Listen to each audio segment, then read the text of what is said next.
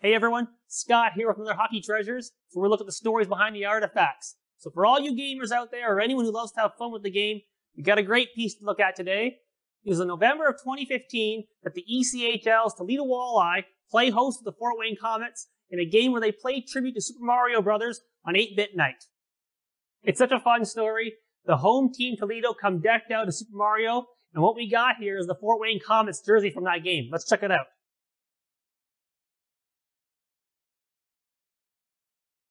So, what I love most are the details. The Komets come dressed as Bowser.